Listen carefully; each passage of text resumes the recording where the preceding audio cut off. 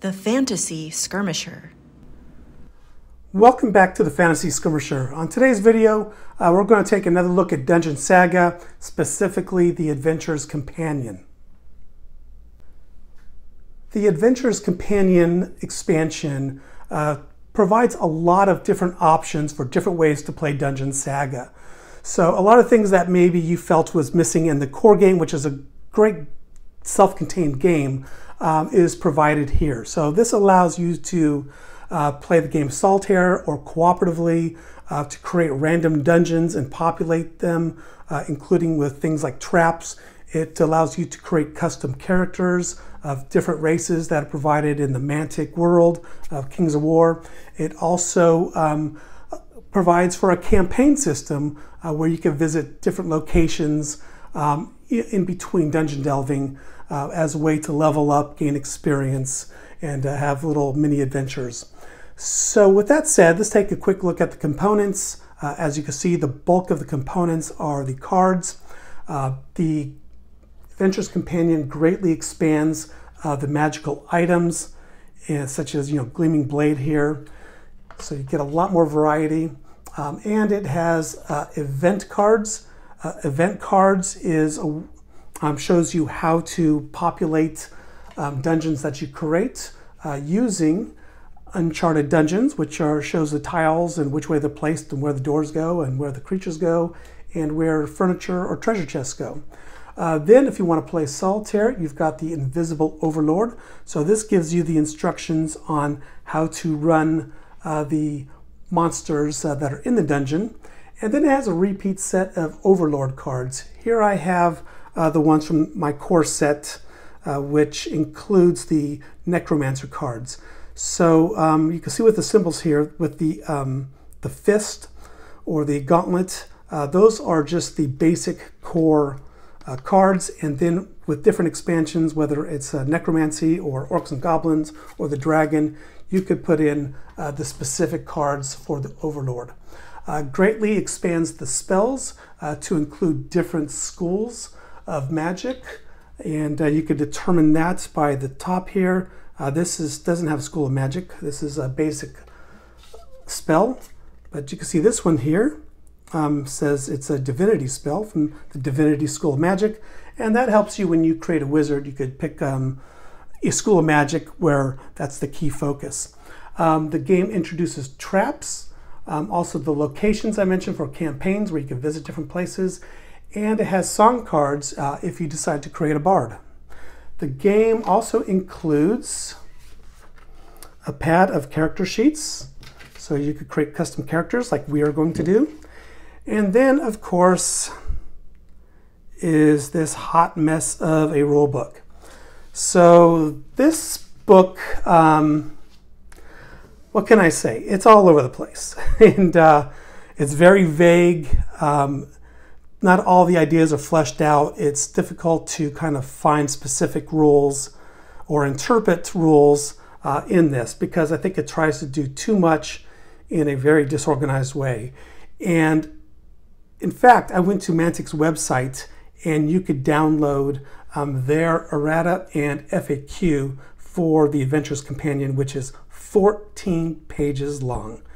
Kid you not. So let's go ahead and uh, create our characters and let's, uh, we'll set up a dungeon and we'll play through and uh, see how it works for us. The first thing we need to do before we start our campaign is create some heroes. Uh, we could choose uh, the pre-made ones that come in the core set or one of the expansions. But the largest section in the Adventurer's Companion is how to make custom characters. So that's what we're going to do. So the first thing we need to do is choose a race, um, which could be human, dwarf, elf, halfling, glade walker, naiad, salamander, or sylph. And then we go to the race section. So the party I'm going to make are all humans uh, because there are going to be uh, Basileans, if I pronounce that correctly, uh, that are from my uh, Kings of War Vanguard skirmish game. So you'll see in the human section, it has a racial feat um, that you write down on your character sheet. Uh, also, um, ability, which is uh, versatile. and then your starting stats. And you write these down in pencil because they will be modified uh, depending on your profession. So starting stats for a human is seven move, two combat dice, one defense, and then um, your health tracker uh, looks like this with only one white um, health spot right there. So after you do that, uh, what you do is you choose a profession. And there's a variety of professions, uh, such as barbarian, bard, cleric, demon hunter, druid, fighter, paladin, thief, and wizard. So let's move over to the professions section. And I'm going to look up fighter. And as you can see here, in the fighter profession, there's three different types of fighters. So you have um, the standard warrior, a ranger, and dervish with all the modifications. So you take those modific, you take the basic stats of the human, which you wrote down on your sheet in pencil, and then you modify them. So for the warrior, it's minus one move, plus two combat, and plus three uh, to the defense dice, and you get two more white spaces uh, for your health tracker. And then you've got your stats for the character. So after that, what you do is um, you add your racial feat and uh, the ability, like I mentioned, and then you um, choose a bonus. And you have a few different options to choose from. One is you could um, do a plus one move uh, to your character, or you can have the character get plus three gold. Uh, and you could use the gold in locations uh, during your campaign because uh, a lot of them uh, do require gold. And then uh, you could choose one magic item um, from the deck of items, magic items. And if you're a spellcaster, you could choose one additional spell that you don't know that's from your school of magic uh, that you do know. And then uh, you could choose one additional song card that you don't know if you're a bard. So those are the different options you could choose from. And then finally, uh, you create a name. So let's go ahead and introduce uh, our, our party. So my party are Basileans, like I mentioned, and here is my fighter. Her name is Zorina, level zero human. And you, here you can see her stats that have been modified, uh, plus um, her official portrait. Uh, as you can tell, I have not progressed past like second grade art. Uh, then the abilities, the racial ability, uh, versatile, and uh, feats. And then I just referenced the page numbers in the rule book so I could look up what those um, feats and abilities are. All right, now we have Aldea, and she is a ranger. So in case you're confused by my artwork, that is a hood, not hair uh, with her stats. And then I have a paladin. So he is holy, he has spellcaster uh, from the Divinity School of Magic, and the one spell he knows, and he'll have the spell card, is uh, healing. And there's his stats. And then finally, uh, we have Celestia human wizard, also not to be confused with hair, that's a hood.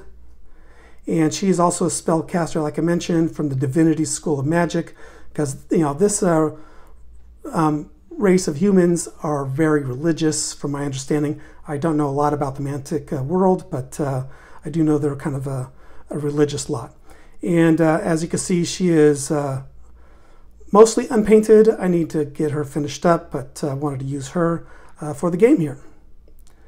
Um, and one last thing about these, um, you'd be better off printing on Board Game Geek a fan-made version of this uh, because it does not have space for uh, gold. It does not have space uh, for the shooters if it's long or short range. Um, also does not have space for a, a section for tracking glory. And you you need these things. So um, these sheets um, are not the best. I would just go to Board Game Geek and uh, download and print up some fan-made ones. Now the next thing we need to do is, of course, you know, set up our dungeon. So first thing we're going to do is uh, separate the cards uh, by their letters, which is uh, A through H. And then you shuffle each pile, and then you draw one card from each pile.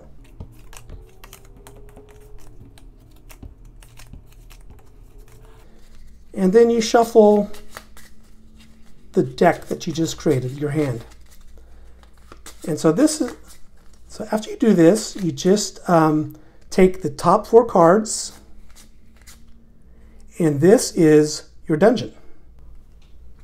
While the standard dungeon size is four cards, um, the rules say you can um, remove or add a card just to change the size of the dungeon to your liking. And since this is uh, a new game for us with level zero heroes, I'm going to do just that and uh, take one of the cards and put it back. And then we uh, put our heroes on a two by two uh, tile. Uh, so that way that's their starting point. We then take uh, one of the Uncharted Dungeon cards, the top one, take a look at it, and we build this dungeon with our heroes starting with the red arrow. So here we have our dungeon. Uh, so the red dots is where um, enemy models, the monsters, um, can possibly set up. But what we need to do is we need to set up where the doors are. So we roll a die and we set up um, a door or doors depending on the roll. So let's go ahead and do that now. And rolled a two. So that is, we need to set up three doors right here. Um, that way we need to exit through one of these uh, doors here. So let's go ahead and get that set up.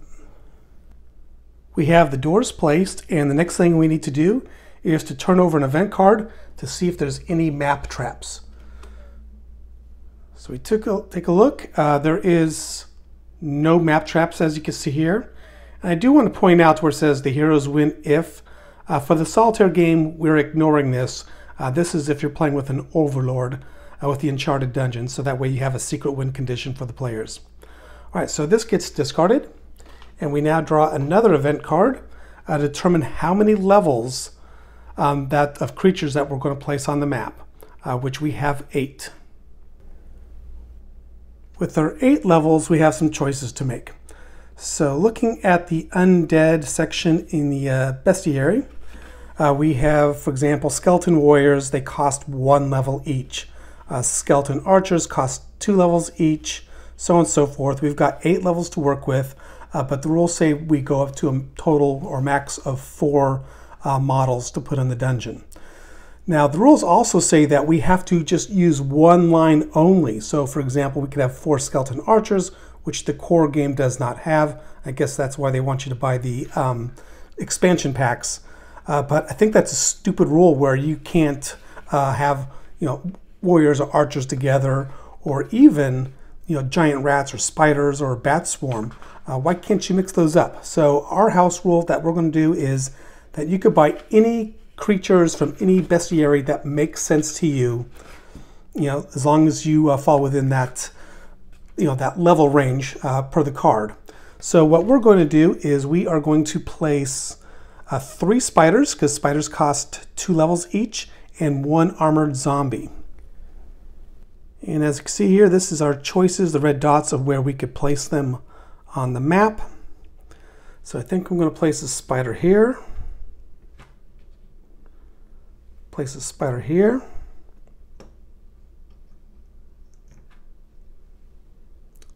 Place the armored zombie right here. And we have one left I think what we'll do is we'll place the other spider right there. All right, now we're ready to play. The turn sequence is each hero uh, performs their actions uh, in any order that you choose, and then um, in between hero actions, you draw an invisible overlord card to see if there is an interrupt, meaning that the uh, invisible overlord could take a turn in between heroes' turns. Zorina, my human fighter, is going to move first. She moves diagonally into the space here and is going to attack the spider. The spider has uh, three combat dice, and Zorina has four combat dice. And there's no modifiers here. So we're going to roll the dice and see how she does. So four and three and one for the spider, and six, four, three, and three. So it looks like uh, got three hits and went through. So the, the sixes cancel each other out, and the four hit went through, as did the three, as did the one, because the spider has an armor of one, and the spider has two wounds. Uh, we inflicted three hits, so this spider is dead. Now what we're going to do is draw an invisible overlord card to see if there's an interrupt. And as you can see, there is not. So we have the second hero action. Next, I'm going to uh, activate Azra, my paladin, and it's helpful if you uh, have the Necromancer Overlord panel handy, uh, if you're using, of course, the Undead uh, models from the core game. Uh, so the Paladin is going to move in and attack the Spider. Uh, so I've got Spider's three attack dice to the Paladin's four attack dice. There's no modifiers. Dice are rolled, and the paladin rolled really well, but then again, so did. Oh, wow. So did the spider. All right, so the paladin only got one hit on the spider. So we need to place a wound token. And there we go, wound token. Now we draw another invisible overlord card, see if there's an interrupt. And there is not. It is now another hero phase, and I think we're going to activate uh, our ranger here, uh, Aldea. And I think what she's going to do is take a shot at that armored zombie. So the armored zombie has three armor, uh, rolls two dice, and she shoots. What is her shoot? Here we go. She has uh, three dice so now we're going to roll. Again, no modifiers. So these two are feeble dice. Uh, this one hit goes through. And so one hit is uh, on an armored zombie is no effect. We're not doing too well. So now we draw another invisible overlord card. No interrupt. So now we just have Celestia or Spellcaster. Before moving Celestia, I think I am, for a second action, going to move our Ranger here. Uh, one, two, three, four. That way she's got a nice clear line of sight going down this way. And she's uh, protected. Now back to Celestia. I mentioned at the beginning of the video that her School of Magic was Divinity, but that is not correct uh, because Divinity is reserved for uh, clerics only. Therefore, I chose uh, Pyromancy, and there's a process where you take the Pyromancy cards and also the um, minor uh, magic cards, the minor petty magic cards, and you mix them up. You draw six, you choose um, three, and then you could choose an additional card uh, as part of the you know as part of the uh, character building. So anyway, the cards I have is Shield, Inferno, Flame Bolt, and Dissolve Ward, uh, which will help us pick any magic uh, treasure chests or open magical doors. Celestia is going to cast Flame Bolt, and she's going to do it uh, at the armored zombie. Uh, so this, uh, the target suffers two dice magic magical attack. So she's going to roll two dice, and the armored zombie gets two fight dice. So we roll and so you can see here the uh, armored zombie has an armor of three. So one hit goes through, one hit again is no effect.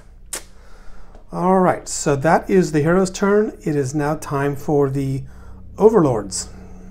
On the overlord's turn, you draw two invisible Overlord cards and you follow their instructions on the card one at a time. All right, so here is the first card that uh, we've drawn. And let's just quickly go over the anatomy. Uh, first is the number, and the number is how many models can activate.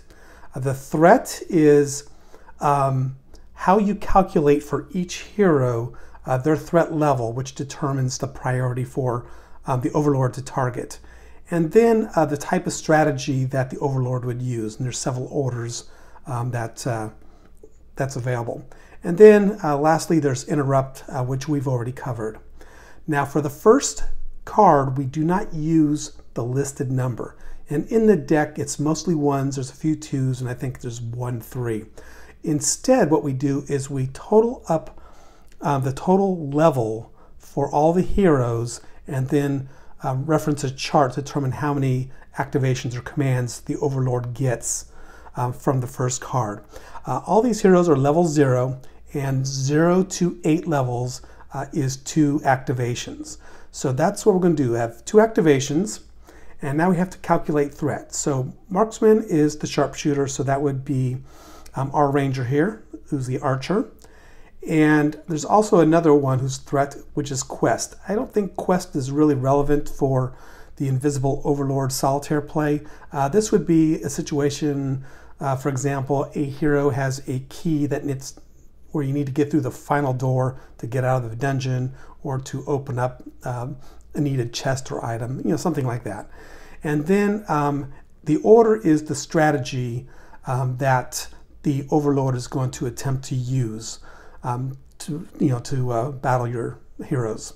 And we've already covered interrupt. Um, so, you know, where it's yes or no, where you play in between the hero cards uh, to see if they get a free activation. I put together a four-page rule summary uh, for Uncharted Dungeons uh, Solitaire campaign using custom heroes. And I'm going to uh, download this onto Board Game Geek so that way it's available to all you guys. All right, so um, looking at the threat. So threat is calculated by plus the hero's experience level, uh, which right now is zero. And so then plus three uh, per threat type listed on the Invisible Overlord card, and that is the Marksman, uh, which is my Ranger here. So she has plus three threat, uh, while everyone else has zero. So she is the main target. And the strategy is surround.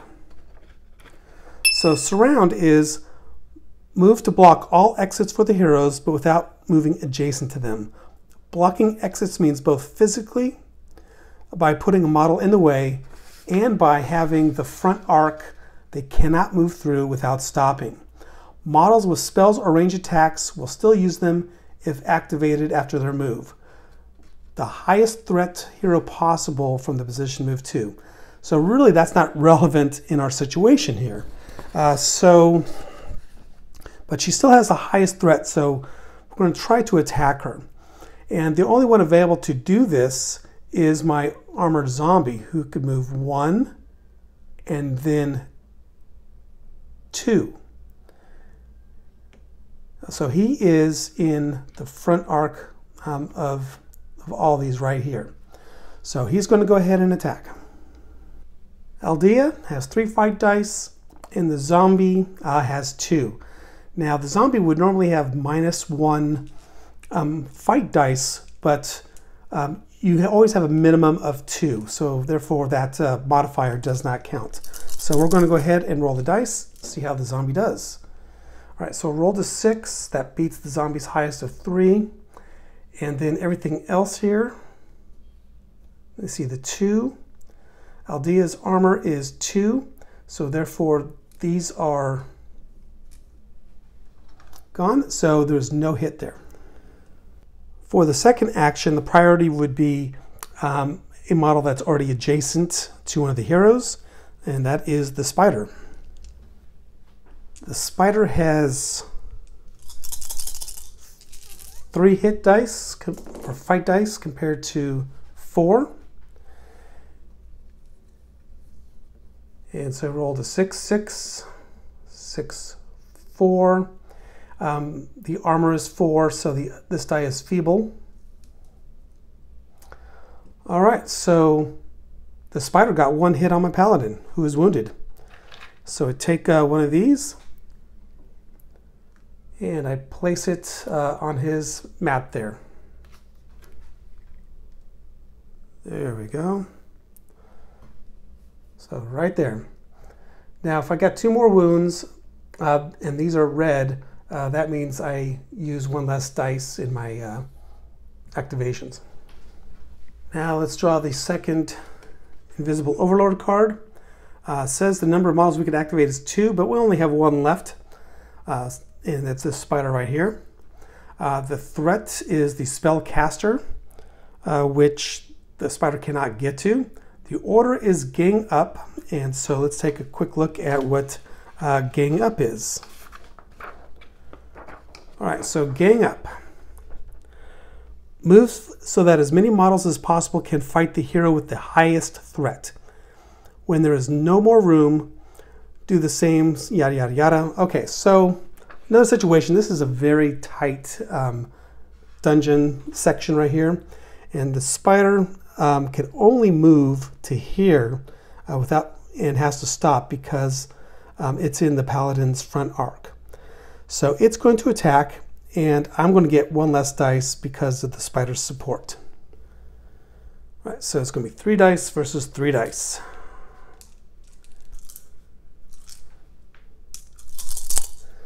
And the dice is rolled. All right, Paladin did okay this time. So these are all feeble attacks uh, that the spider did because it's uh, less than uh, the uh, armor of my Paladin.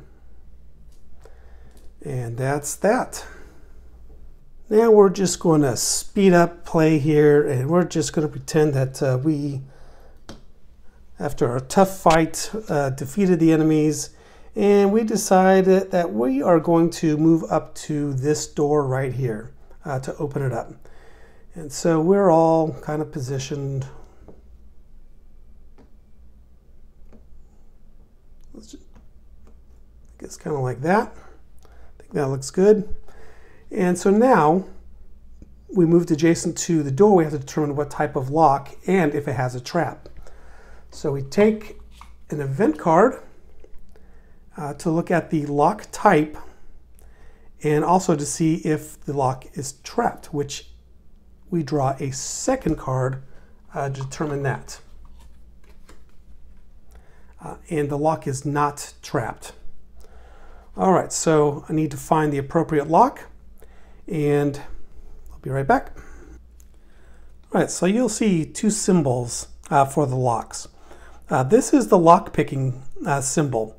So if you have a thief that has the lock picking ability, um, then they could use this um, to be able to reduce it uh, by one each time they um, use an action uh, for the lock picking ability.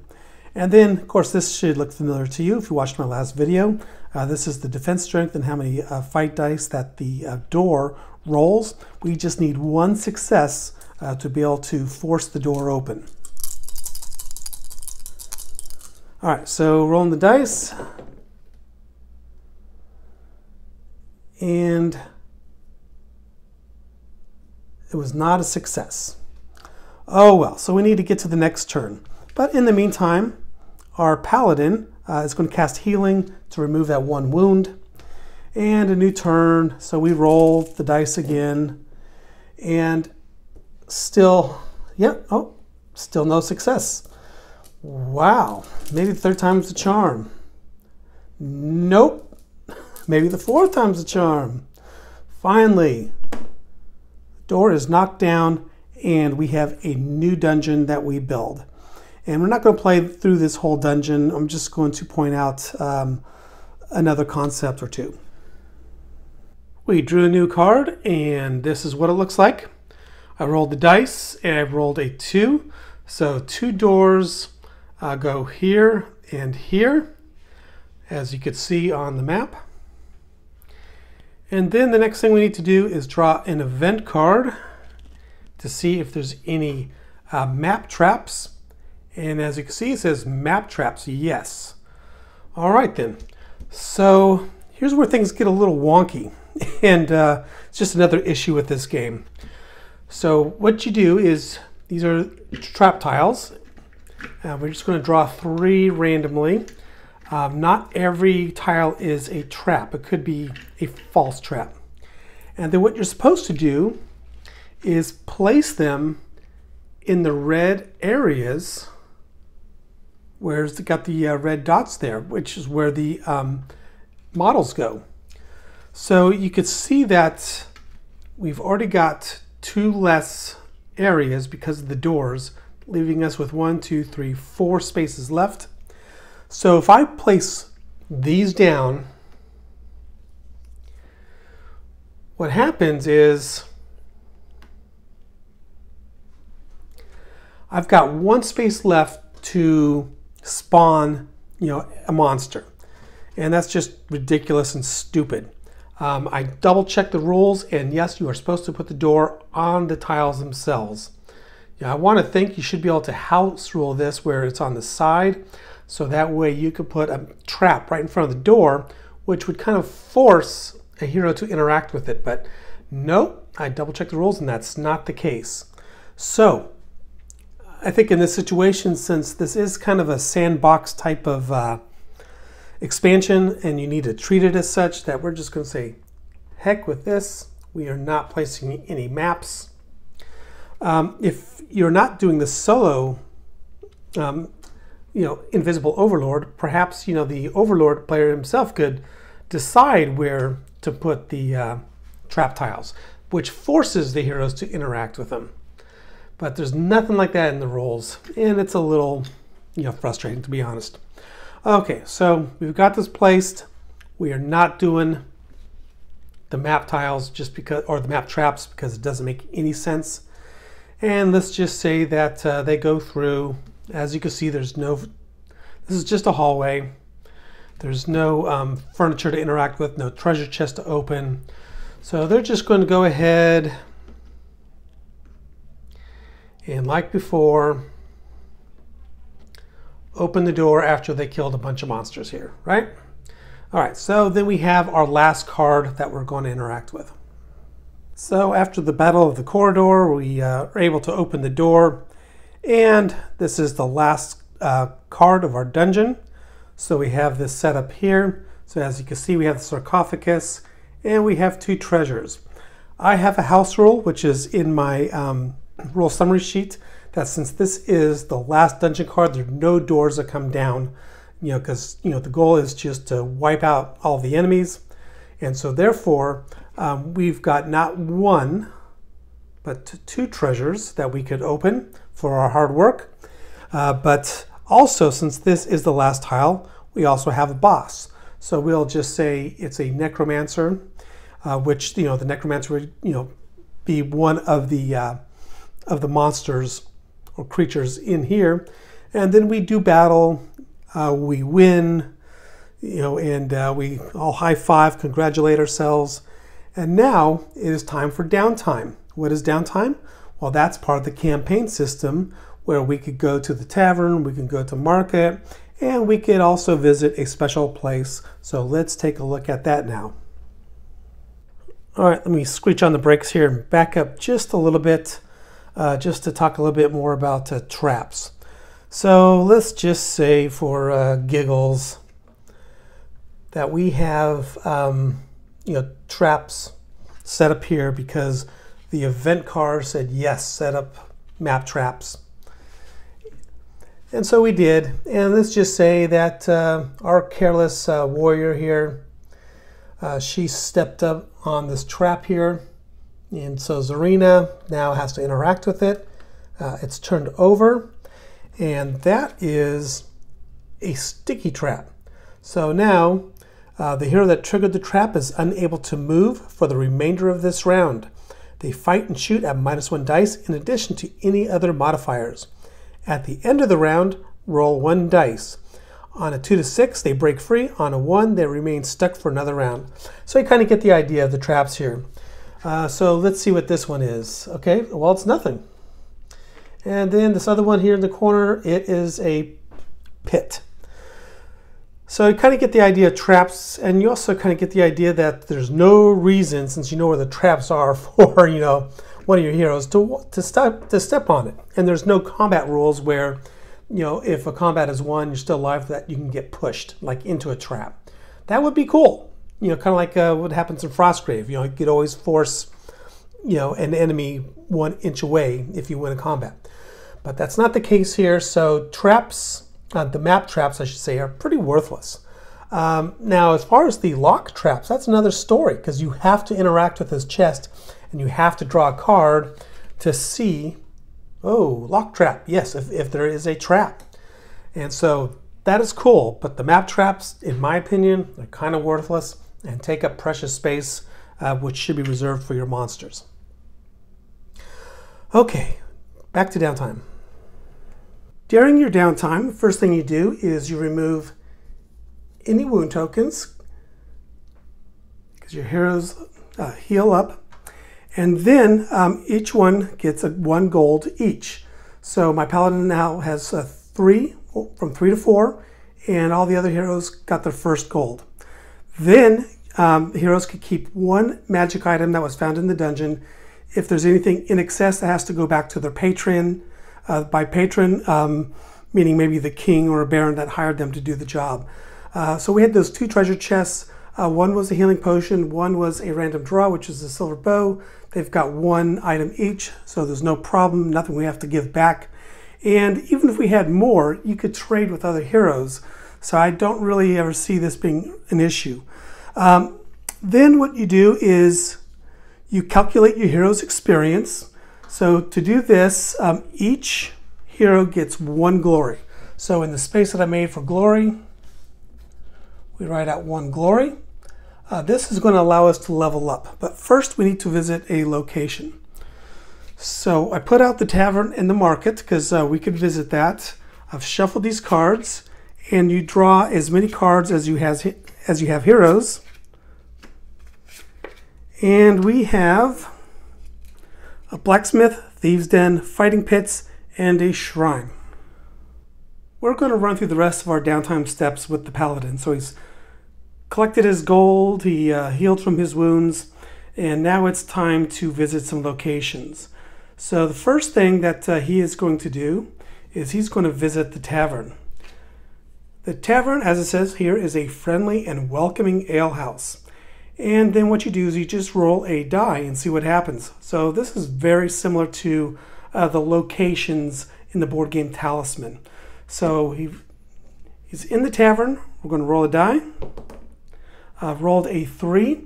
Uh, three to six is many songs will be sung of the hero's amazing exploits and even more about his amazing luck at cards. Gain one gold. So we just went from four to five gold. Great. Now we can go to the market and spend it.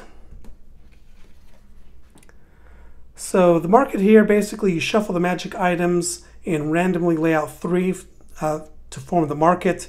Uh, you could also choose um, to buy up to three healing potions and three power one energy crystals in addition to the things that you lay out. So we're going to lay out uh, three cards at the market here. We've got a Scroll of Negation, a Oozing Blade, and a Potion of Miracles. Uh, the Potion of Miracles, the cost is right here, the coins. It's cost four gold. He has five. Uh, but the hero immediately removes all wound counters from his hero card. That is pretty cool. So we're going to go ahead and purchase that, uh, which brings him down to one gold. Uh, he's not going to buy anything else. All right, so we have one other location we could visit. Uh, he doesn't need to go to the blacksmith or the thieves' den or the fighting pits. That's kind of out of character for a paladin, but a shrine is not. So this says a small local shrine is simple and rustic and feels all the more holy for that. So this hero is now blessed because he visited the shrine. So in the next adventure, they may re-roll all their dice in any single attack or defense roll. They must choose to re-roll all or none of the dice, and this works only once. So I'm going to go ahead and mark um, Shrine on my hero card. That way I know I got it for use uh, in the next adventure. Now, each hero gains one glory uh, for winning the adventure. So he has one glory, so we went from zero to one. And if you look at the uh, hero level table, one glory moves him up to uh, level one. And this um, allows um, him to level up. And so there's a couple options here. What you could do is you could take gold equal to the level you just reached, meaning one gold. That's not very good. Uh, or you could learn an ability. And so there is a couple options for abilities.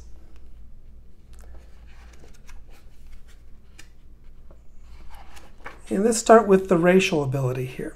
So this is the uh, table for human.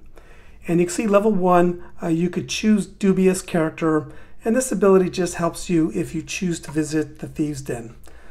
Again, it's just kind of out of character for the Paladin. So on level one for the Paladin, there's two options, Hammer Time and Stalwart.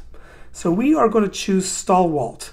And this um, symbol means it is a leveled ability. So we could choose it again for you know, Stalwart 1, 2, and 3. So what does Stalwart do? Well, it does list the abilities here. And I need to adjust the camera a little bit. All right, so Stalwart. The model stands like a rock in combat. Each time he is the defender, he may re-roll a number of dice that fail to beat his own armor. So that sounds perfect because he could act like a tank, right? So our paladin is going to choose as an ability Stalwart. Now, um, there is a possibility that a hero can learn a feat. Uh, so heroes we could learn a feat that depends on the level. So levels one to four, um, you, you have one feat, which uh, he already has, uh, which is chameleon, which is the uh, racial feat. Uh, but if he moves up to um, levels five to eight, uh, you can learn two feats, and then nine to ten, three feats. So earning a feat you know, um, is optional and counts as your experience boost for that level. So a hero cannot visit a location if a feat's chosen. And then um, all the feats are also listed, just like the abilities, uh, in the Adventurer's Companion. And that is the downtime. So what's the verdict here? I love the idea of the Adventurer's Companion and what it's trying to do, but I can't recommend it. It has a lot of great ideas, but its potential is marred by vague, errata-ridden rules.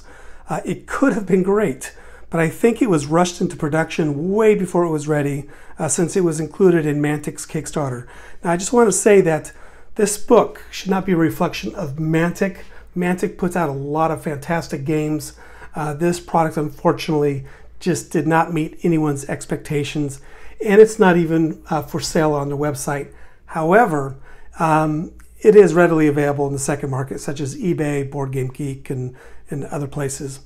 All right, so a second edition, I mean, I think with proper development, playtesting, and professionally written and edited rules would elevate Dungeon Saga as a game to a whole new level.